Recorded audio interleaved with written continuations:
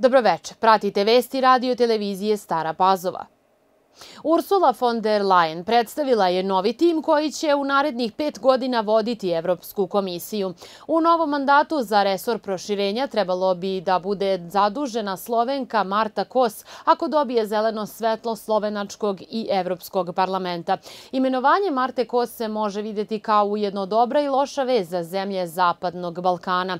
Dobra vest jer komesarka dolazi iz zemlje koja važi za prijatelja proširenja, snažno podržava članstvo za Zapadnog Balkana u Evropskoj uniji i razume situaciju u ovom regionu. To je svakako povoljnije od komesara koji bi došao iz neke od baltičkih zemalja. Manje dobra vest je što je Marta Kos donekle nasumično izabrana kandidatkinja koja nije bila ni početni izbor sobstvene vlade. Nema iskustva u europskim poslovima, malo je poznata izvan Slovenije i dolazi iz male zemlje članice. U tom smislu ovaj predlog ukazuje na manjak ambicije kada je reč o proširenju. Ipak, posle više od deset godina stagnacija i blokada, Ursula von der Leyen obećava da će proširenje ponovo biti jedan od glavnih prioriteta nove Evropske komisije.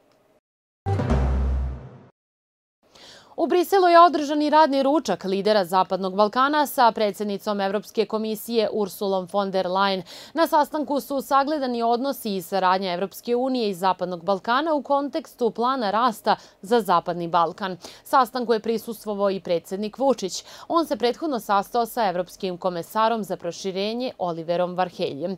Predsjednik Srbije rekao je da je sastanak u Briselu koji je za lidere sa Zapadnog Balkana organizovala von der Leyen važan i da se razgovaralo prvenstveno o evropskom planu rasta za Zapadni Balkan, ističući da Srbija ostaje posvećena evropskom putu i unutrašnjim reformama. 17. regionalni sajam privrede na kompleksu sportsko-rekreativnih bazena u Novoj Pazovi biće održan 26. i 27. septembra. Najavna konferencija manifestacije održana je danas u fabrici kolača Stamevski Moj Slatkiš u Staroj Pazovi, koja je i partner ovogodišnjeg sajma. To je porodična kompanija sa tradicijom dugom preko 70 godina i kao takvi važe za jednu od vodećih poslastičarnica u regionu.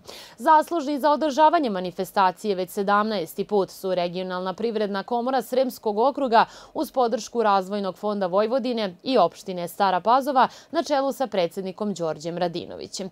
Direktor regionalne privredne komore Sremska Mitrovica Predrag Mujkić pohvalio je opštinu Stara Pazova čije su investicije u prošloj godini iznosile rekordnih 152 miliona evra.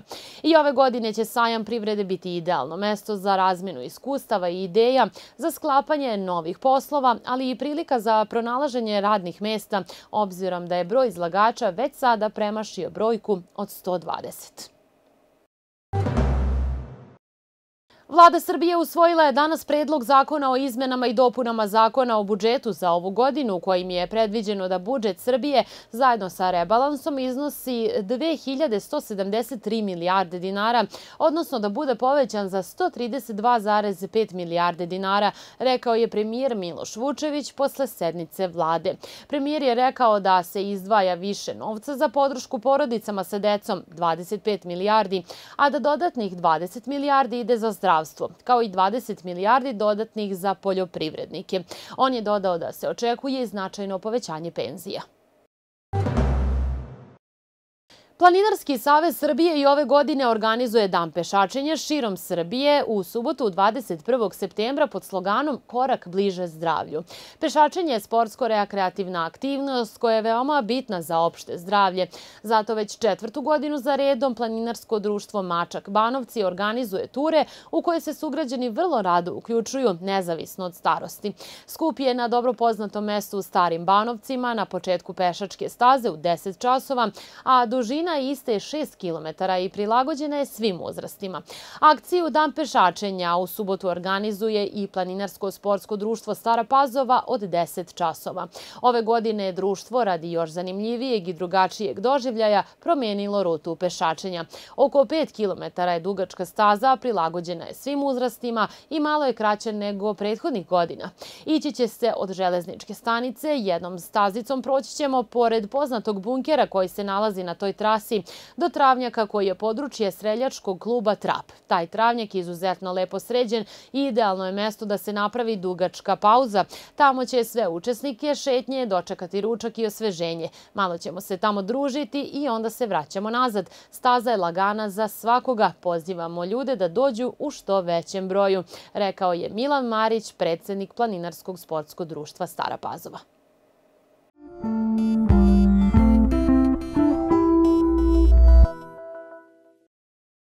U zapadnim, centralnim i južnim predelima još sutra ujutru i prepodne oblačno, mestimično sa kišom, posle podne prestanak padavina i posepeno razvedravanje. Najniža jutarnja temperatura do 16, najviša dnevna do 25 stepeni. Pratili ste vesti radio televizije Stara Pazova. Hvala na pažnji i prijetan ostatak dana.